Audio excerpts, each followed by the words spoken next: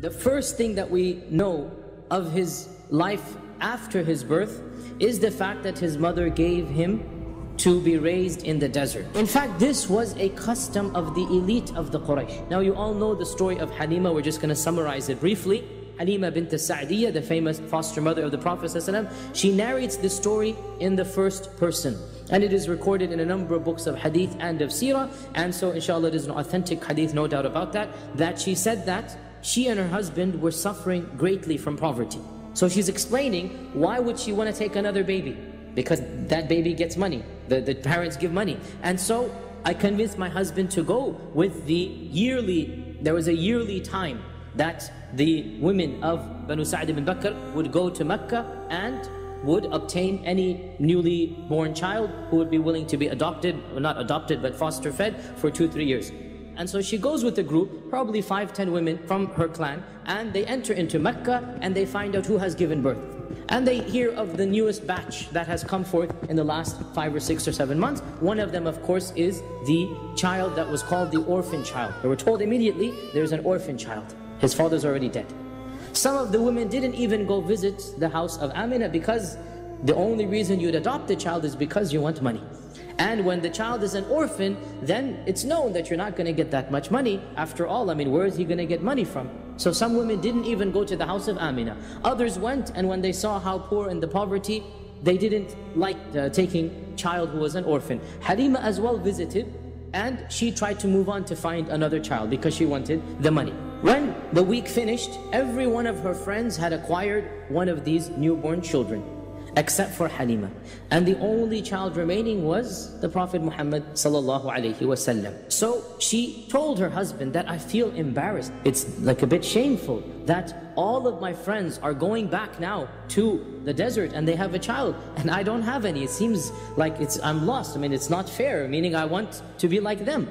So her husband said, why don't you take the orphan child? Perhaps Allah will bless us through him. And so they agreed to take care of the Prophet Muhammad sallallahu alaihi wasallam. All the narrations say that as soon as they took the Prophet Muhammad the miracles began right then and there. That she only had one old goat that had stopped giving milk for a long time. As soon as the Prophet ﷺ entered into the tent, the goat's udders became full. She had an old mount that they were riding, the both of them. And when they put the Prophet ﷺ along with the family on this ride, on this animal, it became the fastest animal. Generally speaking, this foster care usually lasted two years. During these two years, the blessings that Halima witnessed in her household were so many that she was scared of losing the Prophet ﷺ. And so she invented a million and one excuses in front of Amina. And she kept on persisting, persisting, persisting until Amina felt that there was so much care and love that the Prophet ﷺ is good hands. And so she agreed to extend this contract for a longer period.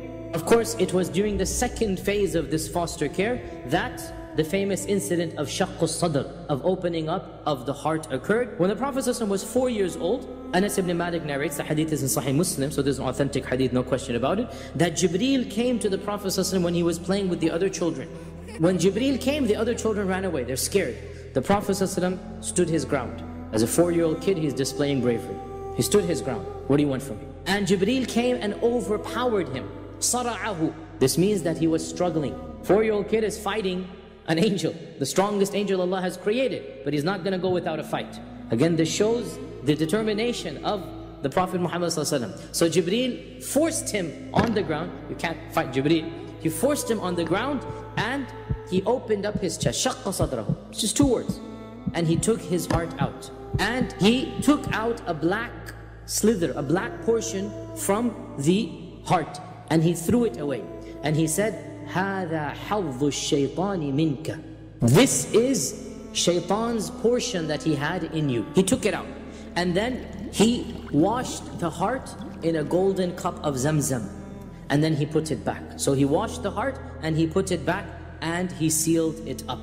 So when the children, the foster brother and Shayma, who he was playing with. When the children ran away, they ran back and they said, and they're looking in the distance that there's a man throwing him on the floor, putting blood in and this and that. So they come screaming and running that our brother has died, our brother has been killed, a man has abducted him, a man has killed him. And of course Halima and others, they became so worried. They come running outside and they found the Prophet ﷺ sitting, his face is pale. SubhanAllah, not wailing, not screaming, not crying. He's the brave four he was the bravest four-year-old the world has ever seen. And when they saw him, they saw those lines on his chest and Anas ibn Malik says, I could see the traces of that line on his chest. Anas is narrating this hadith when the Prophet is around 60 years old. This incident was what concerned Halima. And she decided before anything else happens, let me quietly return the Prophet to Amina. So shortly after the Prophet was returned to Amina, we only have one incident that is recorded during this time. Amina decided to take her son to Yathrib. And she had with her the one servant that it is said that Abdul Muttalib gifted them when they got married. And this is Umm Ayman. Abdul Muttalib gifted his son when they got married, Umm Ayman. So Amina traveled to uh, Yathrib, which is now called Medina, along with Umm Ayman. And the little boy, the Prophet Muhammad sallallahu alaihi wasallam, and the Prophet stayed there for a few months. On the way back in a small little settlement, which is still present to this day, and it is called Al-Abwa. Amina herself fell ill, and she passed away right then and there. And Umm Ayman had her buried by the people of the village, Abwa, and so to this day her grave is at a place called Abwa.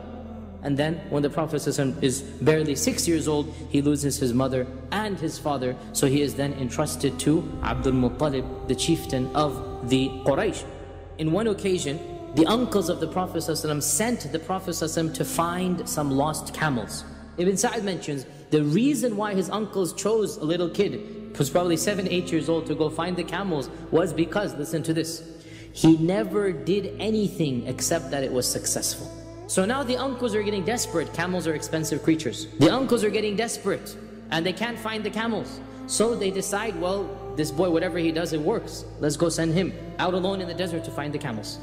And when they sent the Prophet ﷺ, he was delayed in coming back. And Abdul Muttalib, when he found out, he was furious at them. How could you have done this? Why did you send the boy? Now, of course, they sent him because they want the camels back, right? Abdul Muttalib was furious and he was pacing and walking around waiting for the Prophet to come. And as soon as he came, he hugged him and he said, From now on, I will never let you out of my sight. As we all know, at the age of eight, once again, for the third time, our Prophet became an orphan. First his father, then his mother, and now his grandfather. And one of the things that Abdul Muttalib did on his deathbed is that he entrusted the Prophet ﷺ to his son Abu Talib. And so Abu Talib takes charge of the Prophet ﷺ and Abu Talib lives a long life and Abu Talib passes away when the Prophet ﷺ is over 50 years old. So he remains with the Prophet ﷺ